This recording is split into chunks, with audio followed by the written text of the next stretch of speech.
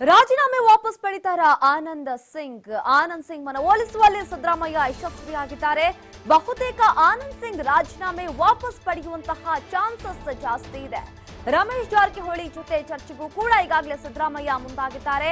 ಶೀಘ್ರವೇ ರಮೇಶ್ ಜಾರಕಿಹೊಳಿ ಮನವೊಲಿಸುವಂತಹ ಪ್ರಯತ್ನ ಕೂಡ ಸಿದ್ದರಾಮಯ್ಯ ಮಾಡ್ತಿದ್ದಾರೆ. ರಮೇಶ್ ವಿಚಾರದಲ್ಲಿ ತಟಸ್ಥರಾಗಿರುವ ಕಾಂಗ್ರೆಸ್ ನಾಯಕರು ಇದೀಗ ಮೊದಲಿಗೆ ಮನವೊಲಿಸುವ ಪ್ರಯತ್ನಕ್ಕೆ ಚಿಂತನೆ ನಡೆಸಿದ್ದಾರೆ. ಅಂತೂ ಮೈತ್ರಿ ಸರ್ಕಾರದ ಒಂದು ವಿಕೆಟ್ ಸೇಫ್ ಅಂತಾನೆ ಹೇಳಬಹುದು. ಟ್ರಬಲ್ ಶೂಟರ್ ಸಿದ್ದರಾಮಯ್ಯರ ಸಂಧಾನ ಸಕ್ಸಸ್ ಆಗುತ್ತಾ ಅನ್ನೋದನ್ನ ಕಾದು ನೋಡಬೇಕಾಗಿದೆ.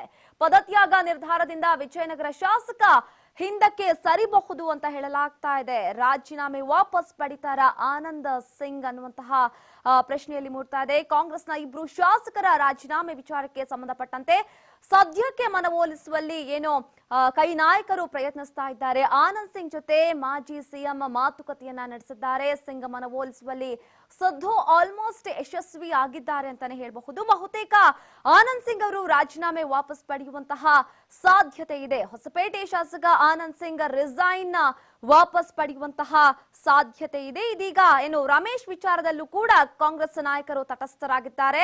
ಇದೀಗ ಮೊದಲಿಗೆ ಮನವೊಲಿಸುವಂತಹ ಪ್ರಯತ್ನಕ್ಕೆ ಚಿಂತನೆ ನಡೆಸಿದ್ದಾರೆ. ಅಂತೂ ಮೈತ್ರಿ ಸರ್ಕಾರದ ಒಂದು ವಿಕೆಟ್ ಸೇಫ್ ಅಂತ ಹೇಳಬಹುದು.